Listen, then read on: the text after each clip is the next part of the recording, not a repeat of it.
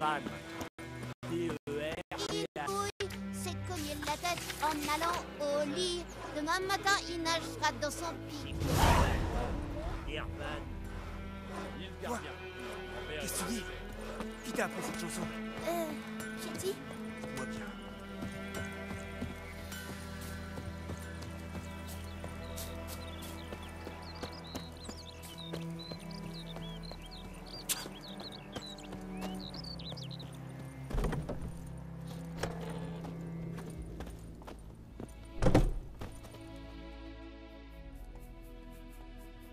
Bonjour, l'ami. Vous avez un problème avec votre puits, paraît. Oui. C'est un puits hanté depuis une bonne vingtaine d'années. Et vous avez attendu tout ce temps pour demander de l'aide? C'est-à-dire qu'avant, on, on puisait notre eau dans la rivière. Mais avec tous les cadavres qui flottent dedans, c'est plus possible. Ma fille Mandy en a bu un verre l'autre jour et depuis, elle vomit ses tripes jour et nuit. L'herboriste dit que pour combattre la fièvre, il faut boire de l'eau, de l'eau pure, pas de la bière ou du cidre. Le puits est la seule source d'eau pure à des lieux à la ronde. Mais le fantôme laisse personne s'en approcher. Décrivez-moi votre fantôme. Ben, il fiche une trouille pas possible. Il est horrible. C'est-à-dire, à quoi ressemble-t-il? Il ressemble à une donzelle fraîchement sortie de la tombe. Il porte une robe en lambeaux et, et sa peau se décolle de ses os. Et il pousse des hurlements, comme s'il souffrait. Probablement un spectre ou une alpire. Si vous lui réglez pas son compte une bonne fois pour toutes, messire, il viendra s'en prendre à ma petite fille. D'accord, je vais vous aider. Où est le puits? À Galetas. Un petit hameau sur les hauteurs. Il est abandonné depuis un moment à cause du fantôme. Chassez-le, sorceleur, je vous en prie.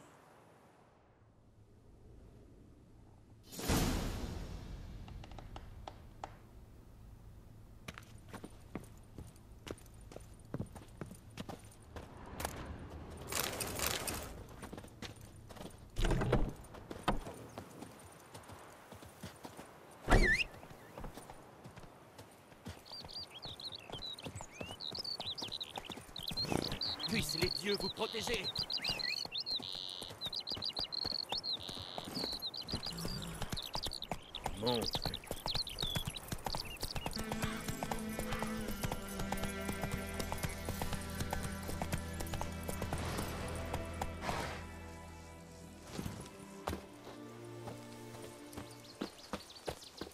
Voilà le fameux puits. Je ne vois aucun signe du fantôme. Peut-être qu'il ne se montre qu'à une certaine heure du jour.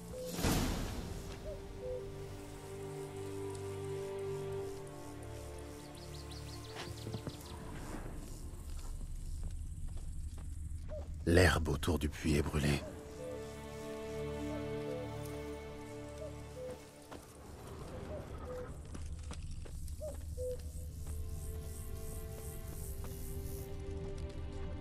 Le corps est carbonisé.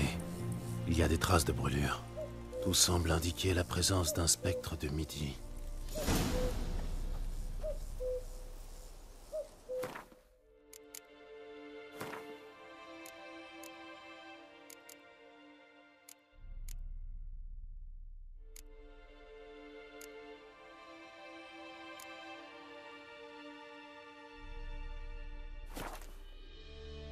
Quelque chose rattache le spectre de midi à ce lieu.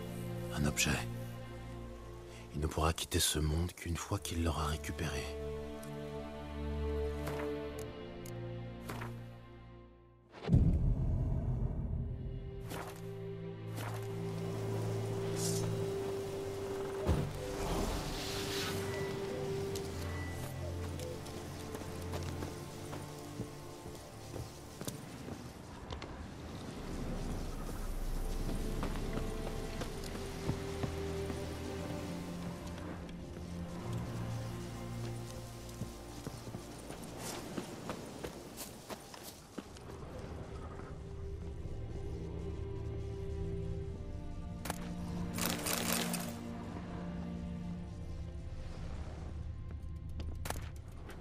Ce journal, ça pourrait servir.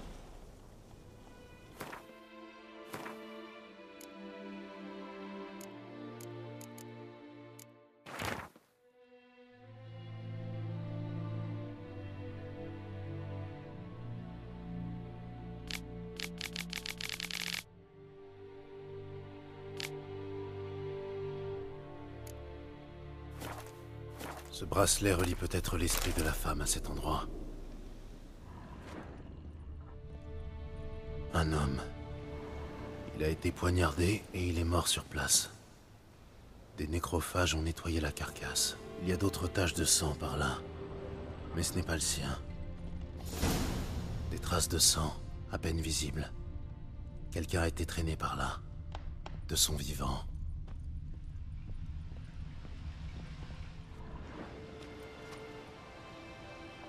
Des empreintes de mains ensanglantées. Celles d'une femme. Quelque chose l'a tirée à l'extérieur. Elle était blessée. Elle s'est débattue. Pas de cadavre en vue. Il y a peut-être des traces. Quand les conditions sont favorables, le sang peut rester visible des années. Encore une trace près du puits.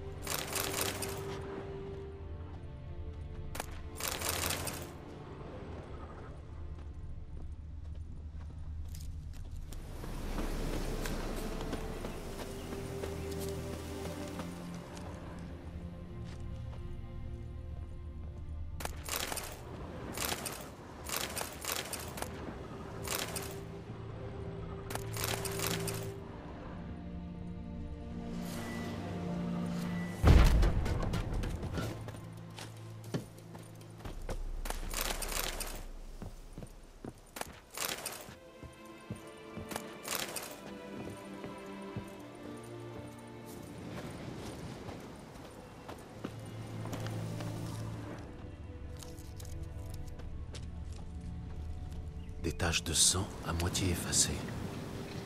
La corde est tendue. Quelque chose cloche.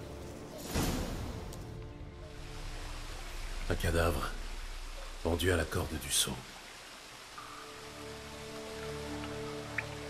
Ce doit être la femme à qui appartenait le journal.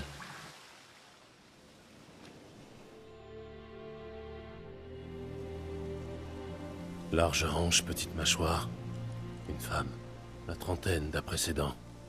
Plus de bras gauche. Je dois incinérer ses restes. Mais avant toute chose, il convient de trouver l'objet qui la lie à ce lieu. Portait-elle le bracelet de son mari?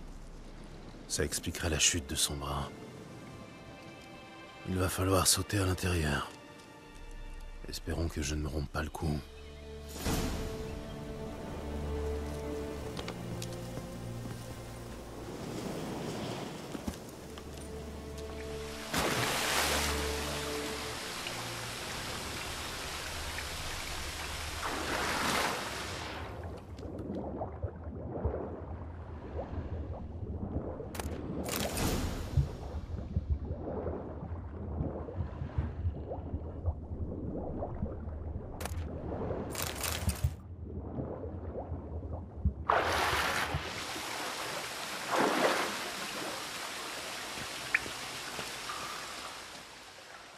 Moins, je ne remonte pas les mains vides. Un bracelet. Il y a une inscription. Pour Claire, Volker. Le bracelet devait appartenir à la femme dans le puits. C'est du bel ouvrage, mais je vais devoir le brûler avec le corps afin de bannir le spectre pour de bon. Mieux vaut m'en occuper près du puits.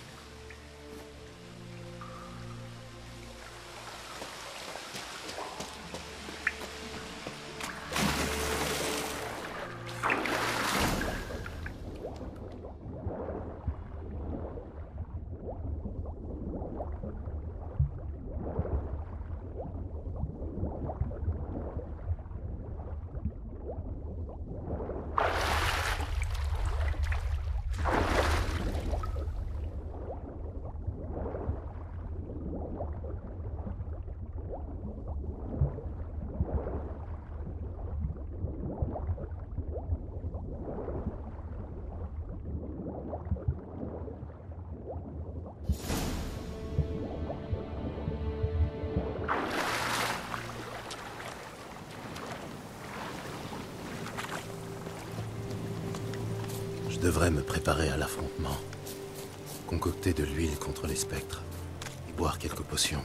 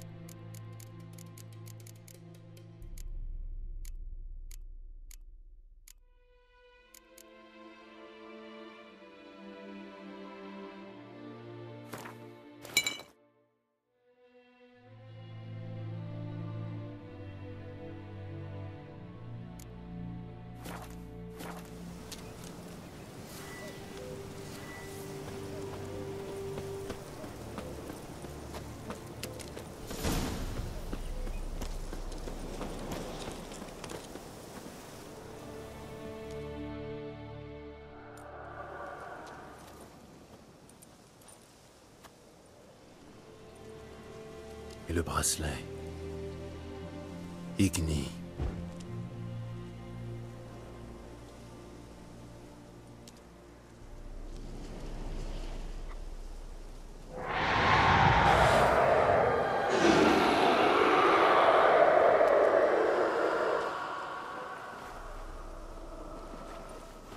Je crois que ça a fonctionné.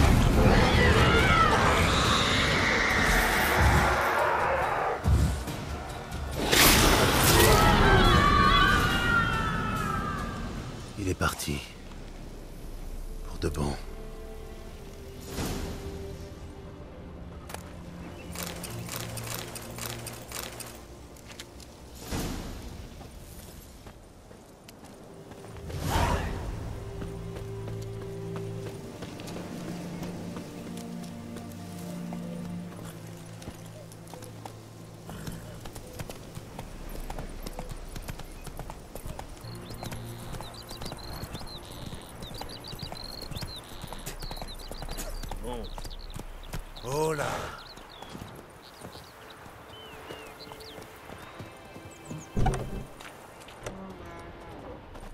J'ai terminé. Le puits était hanté par le fantôme d'une femme assassinée. Je l'ai chassé. J'espère que tous ces gaillards qui sont morts sur le champ de bataille vont pas revenir nous hanter eux aussi. Si c'est le cas, vous savez qui contacter. Dites-moi, Claire et Volker, ça vous dit quelque chose? Connais pas. Cela dit, j'ai entendu Tomira, notre herboriste, parler d'une certaine Claire une fois. C'est peut-être elle Voici votre récompense, sorceleur. J'avais mis cet or de côté pour la dot de Mandy, mais elle serait morte sans vous alors. Au moins maintenant, elle pourra se marier. Gardez votre or. Il sera plus utile à Mandy qu'à moi. Le jour de son mariage, buvez un verre à ma santé. Oh. Oh, merci, sorceleur. Mille merci. Vous avez bon cœur. Mais je ne peux pas vous laisser repartir les mains vides. Prenez ça, ça vous portera bonheur.